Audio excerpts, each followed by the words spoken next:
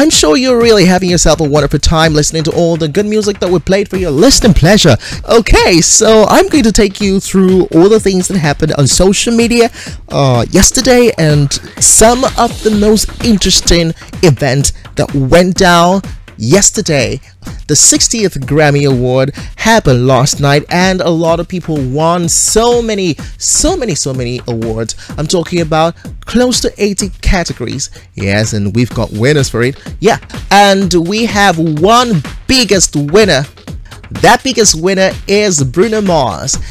He is not the only biggest winner here.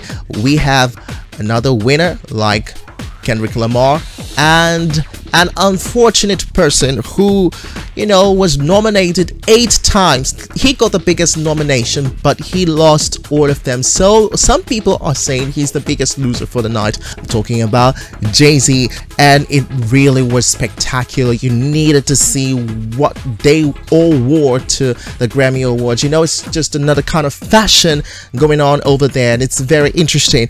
All right, so uh, somebody seemed to wear something that is worth 2.6 million US dollars to the Grammy Awards. And that person is no other person than Beyonce, the queen herself. So she was there with her son, Blue Ivy, and they were all looking so gorgeous.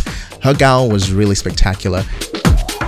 Aha! Quickly now, let us just talk about Big Brother Nigeria. Two weeks before it started, there was this hashtag going on on uh, social media, especially on Instagram and Twitter.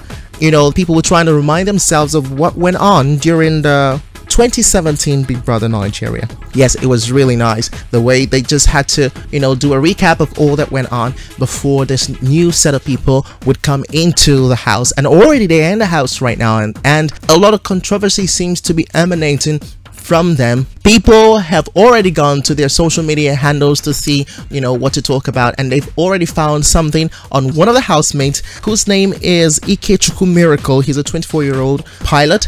They went to his Instagram and excavated pictures not one, many pictures of him with a ring.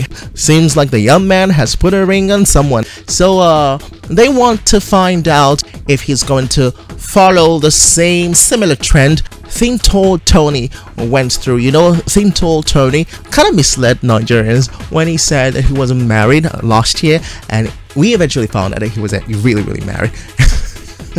very married. Okay, so uh, well, this is what's happening with Ikechukwu Miracle. Finally, I'm just going to tell you about Oprah Winfrey. You know her? Yes, she's turned 64 today and she's still looking gorgeous every single part of her body. Very gorgeous woman. Now you have to remember that she did say uh, she might be running for presidency come 2020 and already I've seen this particular trend. It does seem like there are some people in America who can play America like chess. They already know who's going to be the president. I just don't know. It just feels like America is just a chess for them and they play it. That is the reason why we have had a lot of predictions of who would be the next American president. Before Obama came in, there was a cartoon that predicted the first black American president, and Obama happened. Yes, just as simple as that. And we also have another cartoon that predicted that Trump would definitely be the president. And right where we are right now, Trump is the president, isn't he? Alright, so I would like to have your thoughts on this one. Do you think Oprah will be the first black American female president? Okay, so you can call 07057650202. Let's hear your thought on the matter.